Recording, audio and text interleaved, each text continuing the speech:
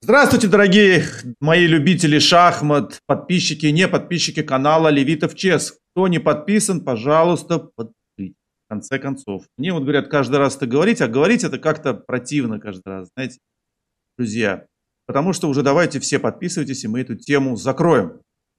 Мы продолжаем э, рубрику нашей, нашей любимые партии, мои любимые партии. Сегодня у нас во второй раз в этой рубрике Борис Абрамович Гельфанд, э, победитель Кубка мира, турнира претендентов, участник матча на первенство мира в Третьяковской галерее 2012 года с Вишванатаном Анандом и многое-многое другое, долгие десятилетия. Борис Абрамович был одним из сильнейших шахматистов мира, а сейчас является ментором новых звезд, которые, будем надеяться, э, будут долгие годы радовать нас своими шахматами. Борис Абрамович, я тебя еще раз приветствую. Приветствую, нас, приветствую на нашем. И... на нашем канале. Да, и опять-таки, ну, раз ты не хочешь говорить, я скажу, что ставьте лайки, подписывайтесь на наш канал в YouTube. Да. Подписывайтесь в YouTube, ставьте лайки. Борис Абрамович вам плохого не посоветует, друзья. Поверьте, я не первый год с ним знаком. Ну что, Боря, ну да. ты у нас, кстати, дважды уже герой герой этой рубрики. Сперва э, Крамник показал твою партию с Карповым. Партия совершенно э, фантастическая. Действительно такая партия, ну, может быть, можно сказать, идеальная шахматная партия. Вот можно детям показывать в школе. Вот как нужно, если вы хотите стать шахматистом. Вот, нужно показывать. Да, нужно показывать, да. А вторую партию он показал, когда против э, тебя, хотя ты отчаянно защищался, блестяще. Ну и вторая партия, которую он показывал с Магдусом Карлсоном, тоже вполне заслуживали. Да, да. Уже с экс-чемпионом мира. К счастью, Ну, что мы сегодня смотрим? Боря, что мы смотрим? Мою, а я тогда ему как бы Алаверды его партию покажу. Угу. Партию, может быть, э, не такую известную, но почему-то мне захотелось ее показать. Партия тоже очень интересная, с Веселином Топаловым. В 99 году играл из Дортмунда. Владимир Борисович выигрывал у Топалова много ярких партий. И в Белграде, наверное, и в Монако две самые запоминающиеся. Вот там такие более яркие динамические партии, а тут такая именно смесь позиционной игры и конкретной. Угу. Вот то, где, как он сам рассказывает, была его максимальная сила.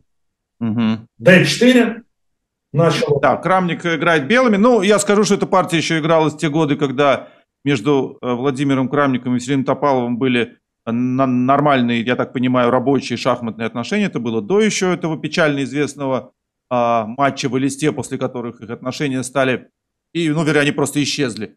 А, но я должен сказать, что вообще из партии Крамника и Топалова можно книгу написать, и она будет очень увлекательной, потому что они много играли, там лет 15 друг с другом постоянно играли, всегда очень яркие шахматы. И особенно, кстати, после матча, вот удивительно, после матча просто какое-то началась, началась просто уже мордобой в каждой партии. То один выиграет, то другой выиграет. И вот это, ну, принципиальное такое противостояние. А в эти годы до матча в листе это просто противостояние двух э, сильнейших, сильных очень шахматистов, которые да, ходят да. там десятку где-то. А может и больше, может в пятерку. А может и больше, может в пятерку и подходит да, где-то там к званию чемпиона мира или, по крайней мере, к возможности. Да, да, двух явных претендентов. Да. Еще мне кажется, что, если мне память не изменяет, они еще, по-моему, в первенстве мира до 14 лет конкурировали или что-то такое. Они одного года рождения. Одного так года. что, может быть, и гораздо дольше их соперничество длится. И да, как ты сказал, еще были отношения хорошие. Вот турнире в Дортмунде, где Владимир Борисович, можно сказать, хозяин поля. Там Веселин играл. И с другой стороны, и в Софии они играли, где Веселин хозяин поля. Там Веселин э, убедительно победил. Да. Ничего не предвещало того, что произойдет. Да, славянская защита. И вот тут я хотел бы остановиться. Хода А6, он такой немножко как бы со стороны выглядит немного странно. Угу.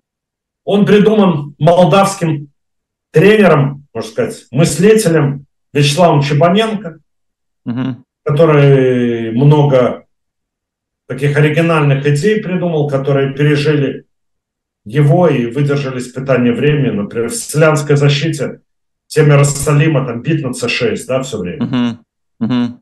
И рано, если немедленно, слон b5, следующим ходом бит на c6, на любой ход. Угу. Владимир Борисович, по-моему, рассказывал историк, ученик Чебаненко, ученик Чебаненко Михаил Ротовский приезжал на сессию школы Ботвинника. Угу. Как это, на это реагировал Гарри Каспаров, это, по-моему, было в эфире. Да, у нас есть ролик, ролик, куда ставить коня называется ролик, можете посмотреть. Я думаю, сейчас ссылка, ребята сделают, ссылка появится, да, это очень смешная история. Да, да, причем не так давно я как-то вот тут встретил Михаила Ротовского, героя ролика, ага. у нас в Решен Лиционе. Мы с ним сфотографировались, послали Володе фото. Ага. Я говорю, узнаешь? И тут же Володя мне ответил, конь Е7.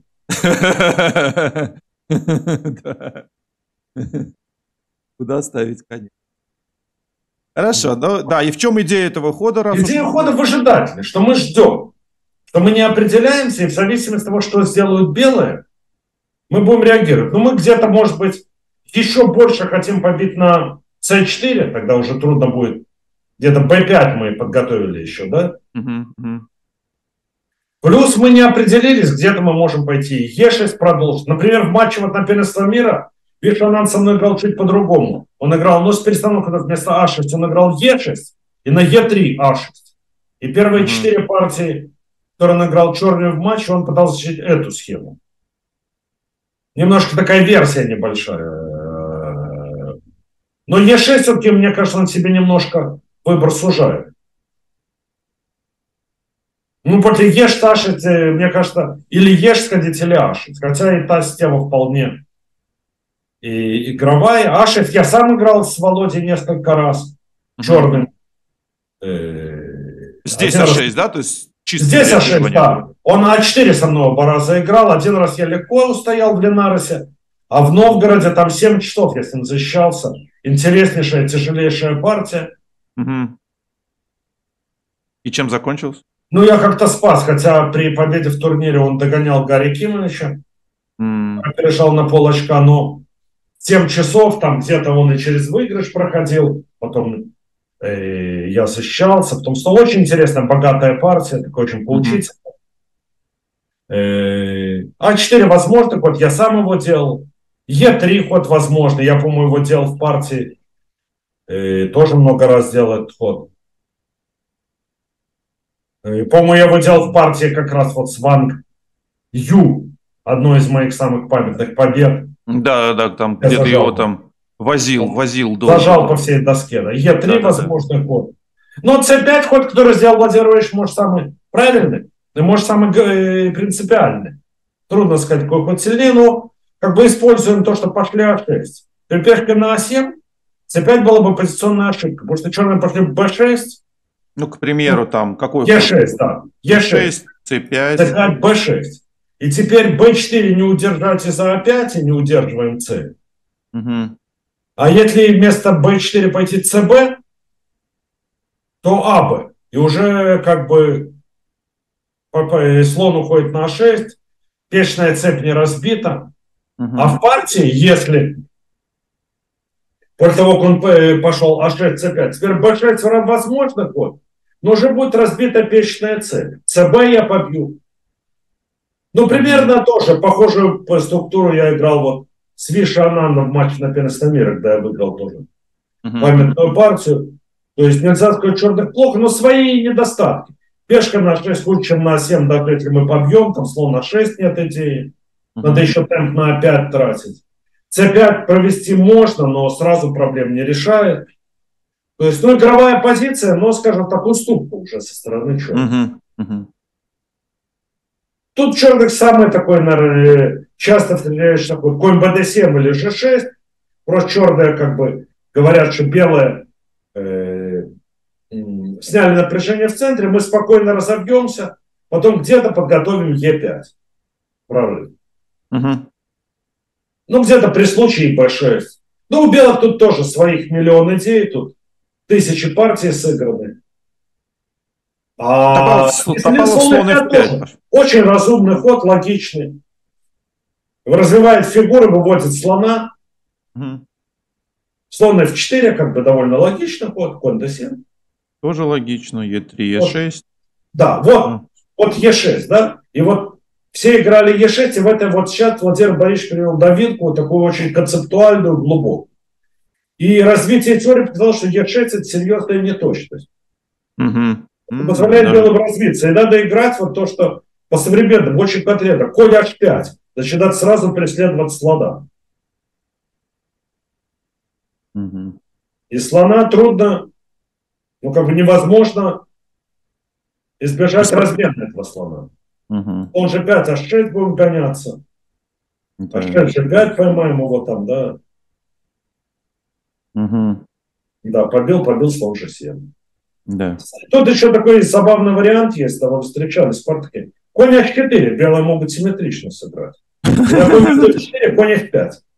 Красиво, красиво. Конь висит. Да, причем и вот конь G6, по-моему, ходит. Может быть, E6 можно только конь G6. Угу. Ну и как-то все-таки, э, наверное, важнее, что черные избавились от этого слона, где-то E5, наверное, им легче будет провести. Угу.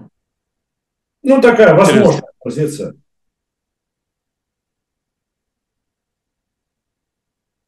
Забавно. Да, да интересно. Ну, интересно просто... сыграл Е6, считает, что все уже впереди, конь Е4 домечает сыграть. Угу. И вот тут глубокая идея, как раз такая в стиле Володи, конь d2. Нет, сейчас слон Е2, слон Е7. А сейчас слон Е2, слон Е7. Конь d2 сразу точнее. Я через а. полгода а, так сыграл, тоже выиграл очень яркую партию другого болгарского батиста Кирилла Георгиева. Угу. Чтобы не давать шанса вернуться, да. И слон Е7, слон Е2 перевести. Идея, ну давай поставим эту позицию, слон 7, слон Е2. Верно, угу. да? Так. Конь d2, хоть, ну, как сказать, вот такой многоплановый ход, как Володя любит. Во-первых, сняли идею конь h5. Сняли идею конь h5? Более физически. Угу. Во-вторых, сняли идею конь e4, потому что на конь e4 э, мы поймем конем c, именно c. Теперь что de, если конь перейдет на d5, то может еще, но конь c4 очень сильно. Все черные поля забрали. Угу. Да. Потому что даже конь перейдет, не поможет. А вот в случае, если черный победит слон бьет Е4. Как интересно. Так, бьем сюда слон Е4. Конь бьет Е4. ДЕ. Тут, если бы черные перевели коня на d5, поставили f5, наверное, у них была бы неплохая позиция. Но по ходам не успевают. Ферзь c2. Пешка и на коне f6 уже слон e5 и пешка незащитима оказывается. Угу. Пешку выигрываем. Да, а если f5, то, по-моему, ферзь b3 тоже двойной удар. И... Ой, нет, нет, после размена слонов. Слоном победа e4, пожалуйста. Да-да-да-да-да. F5, что здесь будет? Ферзь b3, двойной удар, теряется пешка. Угу. Да, красивая разработочка. Да. Смысл хода конь d2, то есть не даем пойти... Мы как бы зафиксировали центр, взяли все, э, зафиксировали вот наши достижения. У нас немного больше пространства. Где-то mm-hmm. при случае, наверное, мы хотим b4 уже надвигать, еще захватывать пространство. И... Слон g6 пошел до Просто ферзь c8 со мной играл Георгиев, решил хитрить. Я его тут ходом g4 еще порадовал. Тоже можно было b4. Неожиданно то было слон G6, А4. Как-то поставил еще немедленно проблемы на другом фланге. Нет, конечно, не А4, а G5 пошел, естественно. Ой, извиняюсь. G5, сколь G8 А4. Опять на Е4 та же проблема, а А4. Вот угу. такая. Да, ну, интересный схематоз.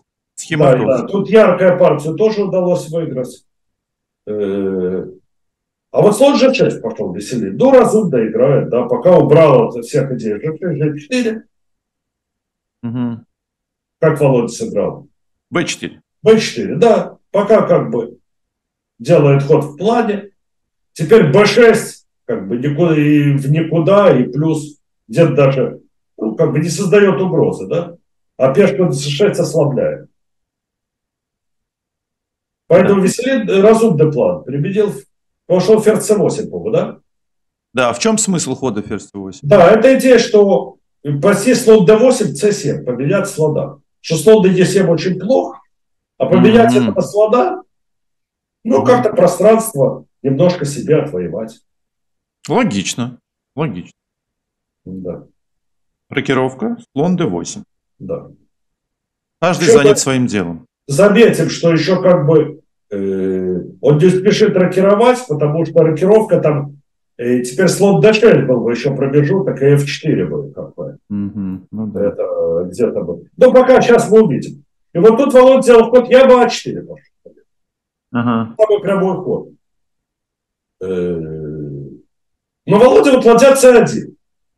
Вот именно как бы многоплановый опять ход. А4 успеет, а тут еще где-то по линии С, до B6 уже ЦБ готов где-то побить. Чтобы C6 зависло как бы не определяет планы. Более гибкий ход. Вот теперь для рокировки уже слот D6 бы пока. Ладья E8, F4. Это лучше у белых, да? Ну, слот C7 надо ходить, но еще доски-то темпы дополнительные. Угу. Ну, в принципе, в партии это могло получиться. Давай, слот C7 пошел. Бить Побед... надо. Да, бить надо. Е5, потому что грозит. Не потому, что черные хотят победить слона, а потому что Е5 против слон 7 грозило. А-а-а. И освободиться. Скрытие игры тут черным, конечно. Ну, скрыть как-то хотя бы пространство какое-то себе. Ну да, да, да. Э, добыть. Слон 7 бьем, ферзь 7 и F4 препятствуя да. всему, да. Препятствуя всему. Угу. То есть, опять-таки, слона поменяли, но Перевес белых чем определяется? У них больше пространства. И где-то у них план есть где-то надвигать А4, Б5, понемножку. Могут не спешить. Черным трудно искать контр-игру. Б6 ведь где-то теперь на С6 будет висеть ладья С1. На А5, Б5. Можно не реагировать на Б6, но как минимум такая идея будет. Угу. Понятно. На Е4 тоже так особо не поменяться. Слон на Ж6 стоит красиво, но на самом деле так особо ничего не делает. Поэтому поле B1 сковывает. Ну, то есть получше убил. И да. поэтому Веселин пытается довольно остроумно э, ладно, развязаться. Развязаться. Конь же 8. В чем идея? Что для рокировки уже конь не пойдет. Так он хочет перевести коня на Е7, потом подготовить, может быть, где-то конь F5 будет пограживать. Где-то F6, E5 попытается провести. Угу. Вот на 7 гибче стоит. И вот тут интересно, что у белых большой выбор, можно просто продолжать играть по плану А4 получше. Но вот то, что э, Володя говорил в э, передаче, что он как бы смесь динамического и, пози, и позиционного стиля. Что mm-hmm. играл позиционно, но увидел момент изменить характер борьбы и не, не применул им воспользоваться. Играл очень конкретно. Е4. Еще плохого нет А4. Е4. Угу. Теперь, с учетом, что пробить не успевают дважды на Е4 поменяться, потому что, ну, можно, да, поставить, побил, побил, любым не имеет значения. Слон Е4, конь Е4. Если бы черные успели рокировать, то при рокировке позиция была бы защитима. Ну, конь вперед от d6, мы можем им гоняться, можем где-то даже качество отдать побить на d6. Ничего страшного. Тут просто конь d6 шахом, король застревает в центре, f5 и мат. Да, тут все очень плохо. Черные не успели. То есть, может, если бы черные защищались, вот Гата Канский, например, так эти позиции держал. Mm-hmm. И дальше держит, слабости нет, за конем гоняется, дальше не прослабляется, очень трудно пробить. Угу. Ну, Е4, конь Е7. Веселее. Каждый занят своим делом. Да, и вот тут так как бы опять меняется. Тут Е5 не зажать, потому что конь F5 напал на пешку, напал на вилл. Да. На любой другой ход черные вот такие пробьют на Е4, сделают рокировку. Позиция будет похуже, но защитима. И Владимир Ильич говорит очень конкретно амбициозно, что требовалось тут такой конкретный расчет. Не знаю, помнит ли он, э, что он видел в тот момент. Может, уже и не помнит, трудно сказать. Ну вот ход f5 такой жесткий. ЕФ надо бить. Что еще? И тут ЕД. Неожиданно. Да, за, заперли слона. Кстати, очень конкретно. И если черная побьют конем, ну, хочется, конечно, пользу поменять с черным, да, у них по фигуры последние. Угу. Проблема, что они конкретно, потому что комби d5 cd, и вроде бы, если выйдут, то ничего, но тут находится ход ферзь b3. Напали Напал. на Да. Конь f6. И b5, да? Или ферзь да, тут уже b5, тут уже начинают морду бить, такое ощущение. Да, и вот тут уже успели. На b слон b5 с шахом. Э, ой, ну ужас. Да, и король застрял в центре, и не Все успели еще. Да. И фигура очень. И, Кошмар. То есть тоже еще позиция как бы не то чтобы такая однозначная, но страшно уже. Конь приходит и опять c6 эти угрозы. Угу. А cd тоже очень конкретно успевает b5 пойти. Потому что до АБ конь бьет b5 и конь до d6 приходит шагом. Так бы это была рокировка, ну, а Б, ферзь ушел, слабости нету, пешка лишняя. Угу. Не успевает рокироваться. Не успевает рокировать. Вот именно подметил момент, черный не успевает рокировать. Угу. Б5. Да, рокировка, да? Что делать? Да, ничего. Ну, тут уже видно, что Б6. достижения какие-то. Б6. Вот такая как бы структура, но она еще с классических партий известна, Капабланки, Алехина. Угу. Но я так дважды примерно похожую структуру Александра Борозевича выиграл. Что угу. пешка на b7 это такая хроническая слабость. Что в какой-то момент, когда конь перейдет на a5, там, ну это мы увидим в партии, уже защитить фланг нельзя, где-то жертва фигуры и пешки проходят. Угу. Теперь d8. Ну, вроде нормально, логично, нет? А что? Нормально. Логично, да. Уберем знак и просто каких-то да. старых перемещаний остался. Конь b3. Конь идет на a5, да? Конь идет на a5. А если черные сами a5, то тогда уже через b5 там куда-то на d6, на c7 второй конь проникнет. Сюда еще, да. По полям. Может, сейчас слон b5 будет тут неприятно. Ой. Ну, так. Угу. Так. Да. Поэтому Веселин, естественно, ходит. Конь f6. Конь f6. Да, тоже. Ну как-то активизирует. Конь опять. Ладья. Ладья b8. Да, пешка уже... Ну сразу вроде бы как-то можно побить на b7 пытаться, но там даже вот такой вариант, ну приблизительно, я приведу. Конь бьет а7, b7, ладья b7, слон бьет а6, ну, во-первых, можно уйти, во-вторых, даже ладья b6 будет не так ясно. А дадут качество назад, побил, mm-hmm. побил. А там фланги фигуры пойдут, пешкой d4 докопаются. Наверное, получше у белых, но так как бы. Как защитительный метод неплохой. Качество пожертвовали, поменяли характер борьбы. Не для этого белые все затевали, спешить некуда. Угу. Да. И спешить поэтому... Некуда. Да. А4. А4. Где-то уже конь b5, ладья b7, А5 будет идея.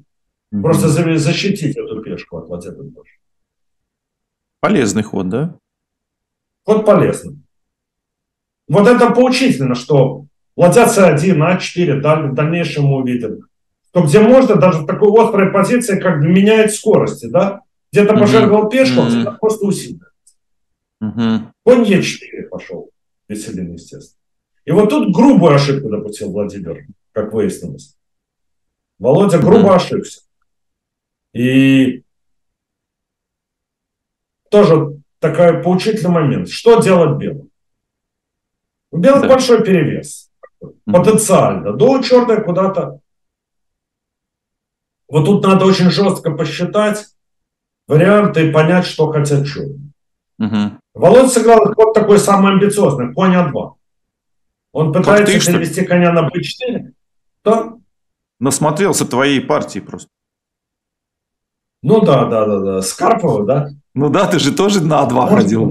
Да, да, да, да, да. Хочет на b4, потом уже с комфортом побьет на b7, опять и пройдет. Но дает шанс сопернику. А как выяснилось, сейчас мы увидим, что э, э, произошло. Могло произойти. И Что давай вернем коня. на цепь. Ну, давай вернем коня, посмотрим, как лучше было сыграть. Так. А правильно было, выясняется, побить на Е4, как ни странно. Конь Е4. Так. Меняем.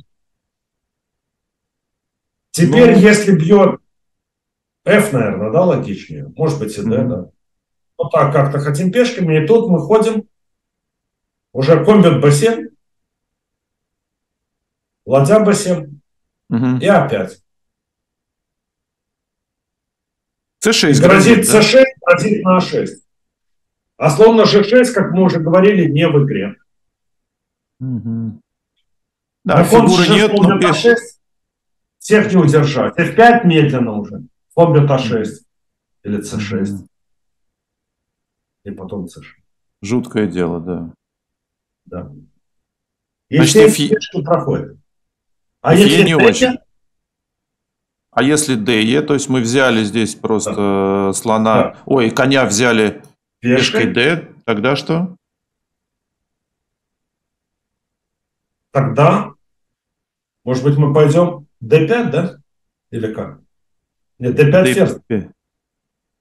D5, ферзь D5. У тебя тут вариант приведен вот такой вот, конь D5 И C6. и C6. Да. И BC B7. B7, невероятный вариант. да.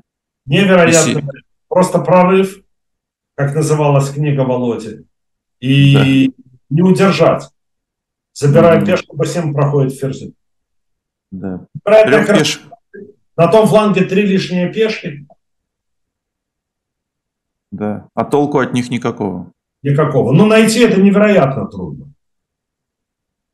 Что это именно D5, потому что дадим ход консолидироваться, уже конь D5 прыгнет, пойдет контр. Именно D5. На конь бьет D5 слон А6, наверное, да? Слон А6, да. Слон А6, БА. Конь C6, на ферзь D7, ферзь бьет D5. Я думаю. Такой, не такая нехитрая тактика. Да. И вот три пешки из слон на G6 никому не нужны, а тут уже все прошли. Да. Да, красиво. Красивые варианты. Так, и так все складывается как-то это... э, Невероятно чёт- красиво, да? Вот. Четко Одно все из, складывается. Да, да, да, да. Так, а мы здесь, да, конь 4 мы смотрели, да. Да, конь Е4. Надо было побить на Е4. Мгм. Надо было победить на 4. Но он сыграл конь А2, да, мы все А, посмотрели. но он считает, что ей время терпит, как Мгм. говорилось в любимом фильме. 17 дней весны. Но казалось, что Не все так просто. время пока терпит, да? Мгм. И вот тут у черных был невероятный шанс как бы полностью э, перехватить инициативу. И чем бы партия закончилась, вообще трудно предугадать. Объективно даже позиция черных была бы не хуже. Может быть, мы дадим пару минут нашим зрителям подумать. Да, если, если хотите, хотите подумать над шахматами, вот, пожалуйста, остановите видео и подумайте над ходом черных. Так, а мы продолжаем. Значит, какой тут, как надо было? Ну, я вижу, как надо было. Неожиданно, Борь. Ну, как это в голову так с- не придет, может, сразу, да? Ну и Веселину легко могло прийти. Очень- Веселину легко, да. Если уж кому-кому, то может прийти. Да, да, да, F4. да. Ну, идея, во-первых, от безысходности, что при спокойном характере борьбы видно, что белые подводят коня на b4, и там уже фланг Мгм. рухнет, все рухнет. Но именно f4, что срочно в контратаку. Белые увели как-то фигуру от короля, и тут, а мы подключаем сразу в атаку всех. И слона, и коня через f5, ферзя через g5.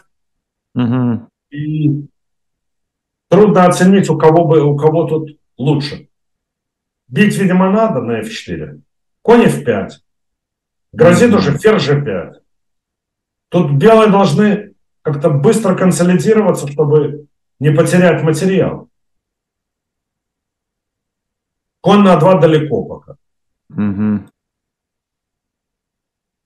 Ну, кони вообще не очень. Да, оба коня, оба коня. Угу. Да. Так, и что здесь, какой здесь, что за белых мы здесь предлагаем? Какой основной, основной вариант? Даже не знаю, даже не знаю, думать надо. Потому что грозит ферзь g5. Ну, а f1, конь e3 уже вилка. Угу. Грозит, может быть, ферзь f6, напасть на пешку d4. Может, какой-то замысловатый ход сделать ферзь d3 в надежде, что там тактики не найдется. Как-то хоть на ферзь g5? Ладья может быть cf1, да? Может, ладья g4 может. Но так, черт, уже хочется играть черт в эту позицию. Неясная позиция, да, что-то какие-то связки тут были, тут как-то все это... Я боюсь, что тут как бы, как бы форсировано черные не выиграли. Да. Не, это очень неприятная позиция. Так не Но надо. получить F4... А с другой, с другой стороны, а что тут делать? Ну, надо, может быть, ну, ферзем единственный ход на d3, да? Давай подумаем. Слон g4, там ферзь g5, мы не успеваем ладью защитить.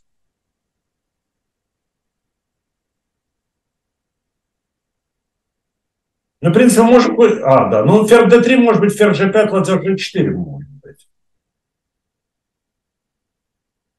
Так, здесь защищено, как ни странно, да, оказалось. Ну, может быть, и ферзь h6, например. Грозим уже где-то конь e3. Угу. То есть, может, белый где-то качество пожертвовать, будет пытаться на том фланге, но... Ну, в общем, была бы очень напряженная, какая-то неясная напряженная, причем игра белыми играть было бы намного сложнее. Надо как-то mm-hmm. играть очень аккуратно, чтобы сразу материал не проиграть. Слон f3, конь f6 проиграли материал уже, да, качество потеряли, да, допустим, если не больше. Ну, где-то, а может, можно жертвовать качество, но пока все равно конь на 2 связан с защитой ладьи c1. То есть как на b4 не скакнет. Такой очень поучительный момент, да? Да. Странно, это, кстати, дико в стиле Веселина пойти здесь да, э, F4, да, да, шахматист. Так, он шахматист, который редко пропускал такие, да, э, такие да, возможности ринуться, да. пожертвовать пешку, ринуться в атаку. Это вообще его, его стиль. Но, тем не менее, он сыграл F6. F6. Решил слона в защиту подвести. Угу. Конь B4, слон E8. И вот тут, вот эту позицию я хотел бы еще раз отметить. Угу. Ну, белая уже как бы комфортно. И подозреваю, что даже побей немедленно на b7, опять пойти, уже должно быть достаточно для выигрыша на 6. Угу. Но вот тут Например. как раз опять. Да. Красин побит на 6.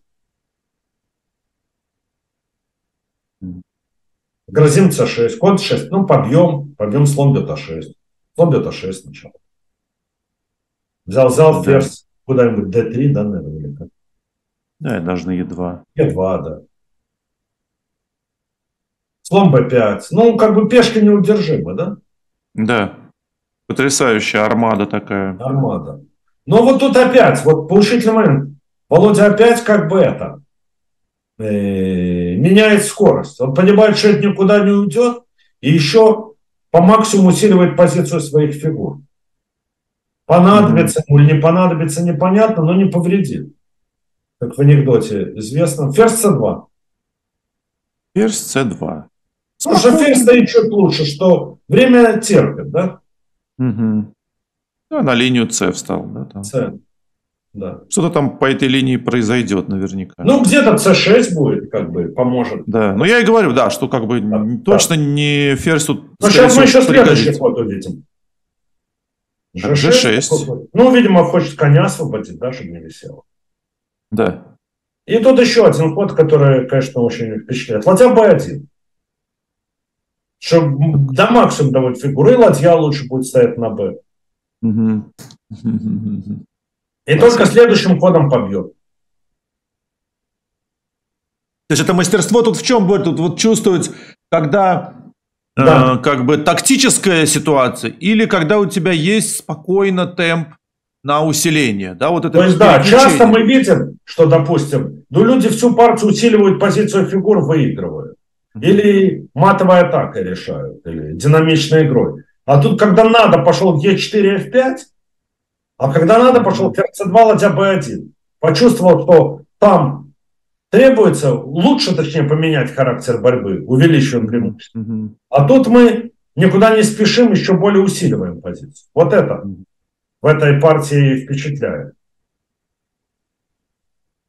Да, ладья B1 так в голову не придет сразу. Да, что ладья стоит лучше на B1, чем на C1. Но вроде бы и так все готово. И, конечно, хоббит B7 выигрывает, нет сомнения, опять.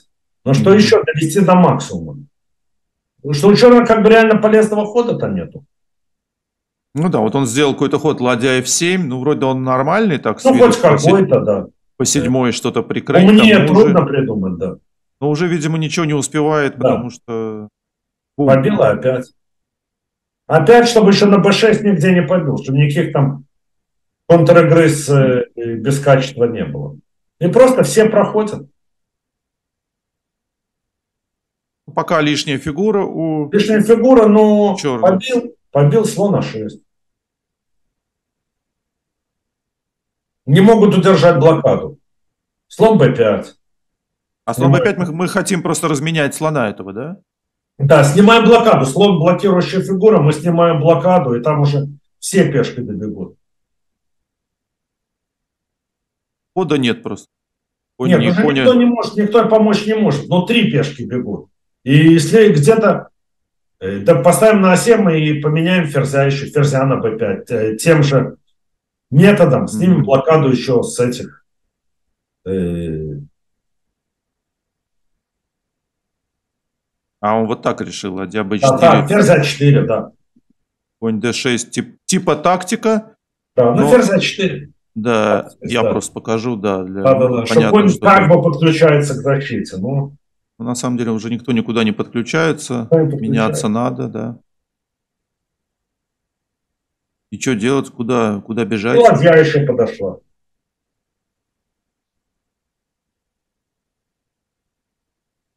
Конь, конь скачет ну, по всей мотива. доске. Конь делает вид, что блокирует, но никого не блокирует. Опа. Да, ну здесь просто на ладья b4 просто ферзь. Уже ферзь. 7БА, ладья 8 и Т6. Все. Конечно, вот, вот, вот это впечатление, это вот впечатление от партии Крамника. Я вот скажу тебе, Боря, вот у меня вот сейчас вот четко вот э, я вспомнил, когда я смотрел партию его, э, ну, онлайн или что-то, вот с комментариями. То есть, ну, а что такого? Ничего такого как бы не произошло. Ну, вот кажется, я сейчас сяду, а что я так не сыграю? Что, что тут сложно? Ну, ни одного сложного варианта длинного нет. Все просто. Ну, это может быть самый легкий длинный вариант посчитать. А да, вот да. просто делать спокойные ходы, усиливать позицию, чувствовать ритм, да, когда э, обострять игру, а когда, наоборот, усиливать позицию фигур, вот это намного сложнее. Я имею в виду, что все-таки у него есть вот этот узнаваемый стиль. Узнаваемый стиль. То есть вот это да, такая... Да. да. Так особо никто вот не играл, такое сочетание сочетание вот у него такое спокойное, позиционное, но при этом где-то какие-то взрывы. То есть э, Карлсон да, все-таки ну, более...